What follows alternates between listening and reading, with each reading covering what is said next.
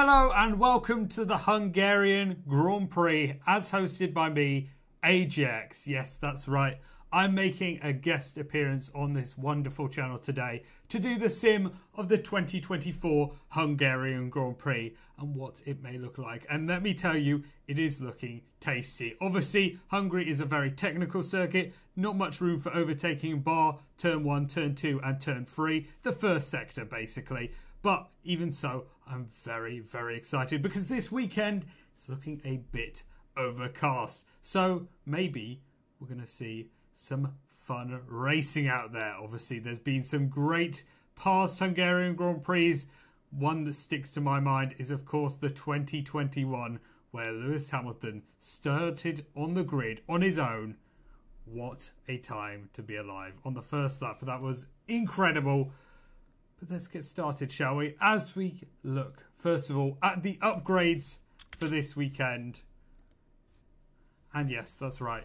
We're looking at the upgrades where Haas are bringing a big update to the grid, which could see them definitely do well this weekend. Looking out for Haas this weekend. There's a number of other upgrades across the field. Red Bull with two, Aston Martin one, Mercedes one, Racing Bulls one, Williams one, Alpine two. But the big one is Haas with the five.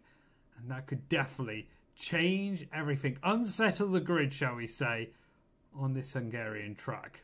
But with that being said, let's jump into it with qualifying one. Which starts off with a big, big shock. As you see, Sainz unfortunately had an engine failure, causing a red flag which means most drivers could only set one quick lap time, which was huge for the grid. We obviously see that a big change happens there, with Sainz only getting 20th because of that malfunction with the engine, uh, engine failure. This did unfortunately unsettle the Hasses, which don't get a good result despite the upgrades. But we see basically the usual bunch bar Sainz at the bottom of the grid. Hulkenberg in 16th, Sargent 17th, Zhou 18th, and in 19th, Magnussen with, as we said, Sainz in 20th. Bottas just making it through in the end. And yes, it's a very interesting grid so far, but obviously many drivers could only set one real racing lap for this. So not much to take from it so far. So we jump in to Q2 up next, which saw another big shock as unfortunately. Oh, final classifications. My bad there. Um, which unfortunately saw the provisionals where we saw Norris go out, which is a big shock, a big, big shock. Tsunoda, Stroll, Albon, and Bottas joining him which was, you know, bear in mind Piastri, a big jump for Mercedes there as well. But bear in mind Piastri out qualifying by the looks of things Norris there. However, if we go another place, we can see unfortunately Ocon had his time deleted, which saw Norris just get through with Ocon relegated to 12th place there. Big, big calls and yes, it massively shook up the grid because we could have seen Norris not be in Q3, and he could have a big effect on Q3 this race. You can see our usual suspects at the top Verstappen, Alonso, and Perez. But what will happen in Q3? Well, as I said, it would have a big effect because Verstappen is in P1, but Norris almost out, but gets into P2, and it's only by 40 thousandths of a second. I think that is correct, which is incredibly, incredibly low. Piastri in third, Alonso fourth, in fifth Gasly, sixth Russell, seventh Leclerc, eighth Perez, and ninth Hamilton, with Ricciardo in tenth position. Not a shock to many but that was big. That was big. No interruptions, however. So it stayed that way, which is nice. It stayed in the grid positions we are expecting for this race. And this is how the grid will line up the Hungarian Grand Prix. In 20th, big shock, obviously, with the engine failure, is Carlos Sainz. In 19th, Kevin Magnussen. 18th, Zhou. 17th, Sargent. 18th, uh, sorry, 16th, Hulkenberg. 15th, Bottas. 14th, Alex Albon. 13th, Lance Stroll. 12th, Ocon, despite because of that deleted lap time. 11th, Lance. I read that wrong. 11th, Yuki Tsunoda. 10th, Daniel Ricciardo. 9th, Lewis Hamilton. 8th, Sergio Perez. 7th, Charles Leclerc. 5th, 6th, my apologies, was George Russell's. 5th was Gasly. 4th was Alonso. 3rd was Piastri. 2nd was Norris. And in first place, and it's not a big shock to anyone, Verstappen. But it's going to be a very close race here that could be massive. Shall we see what's occurred as we jump in to the race results, which sees Norris win the Grand Prix with a last minute safety car due to a Russell engine failure, which made a battle for the win. We saw a huge, huge shock this race, uh, which just changed the field massively. And yes, we see that Russell unfortunately did DNF. I believe there's a side glitch with the uh, with the thing with him being up in third, but trust me, that is wrong.